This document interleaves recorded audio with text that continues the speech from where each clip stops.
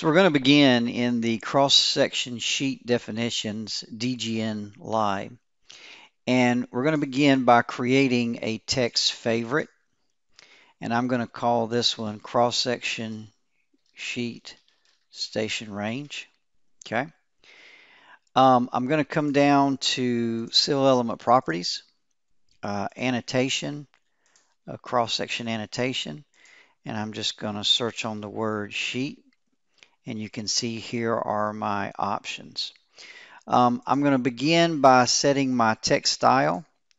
I'm going to put a prefix uh, in here, station, and I'm going to set the minimum station. I'm going to set my format, save preview and accept.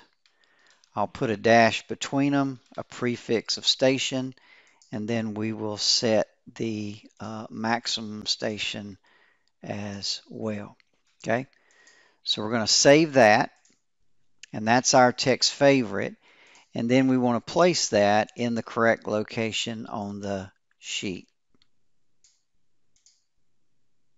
And so I'm just going to place that right here. Okay, so once again, this is our cross-section sheet definition DGNLib. Now let's go do the same thing for our plan sheet DGNLib.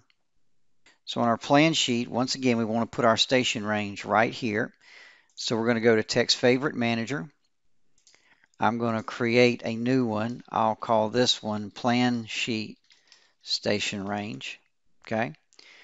Once again, we'll go to Civil Element Properties, Annotation, Linear Plan and I'm just going to uh, search on sheet.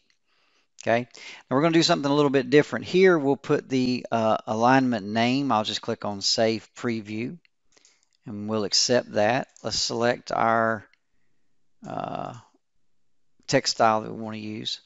On the next line, once again, I'm going to use the station prefix.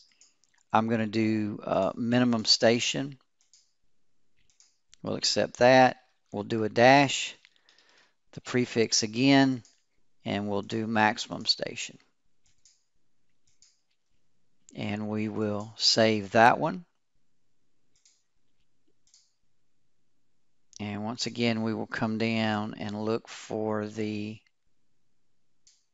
plan sheet station range.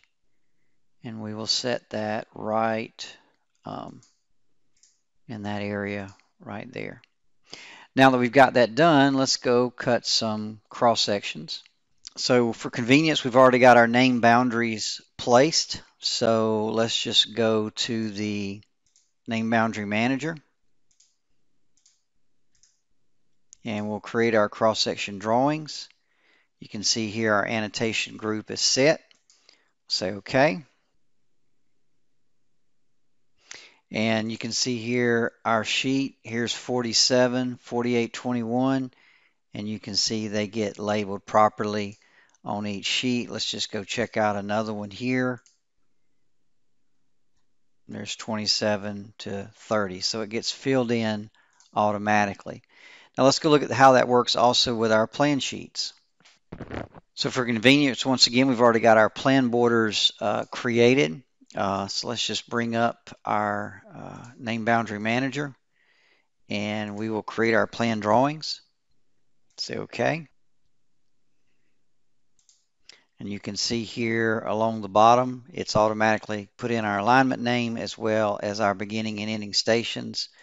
Let's go check one of those. For example, you can see here a match line at 14, a match line at 28, and labeled properly from 14 to 28.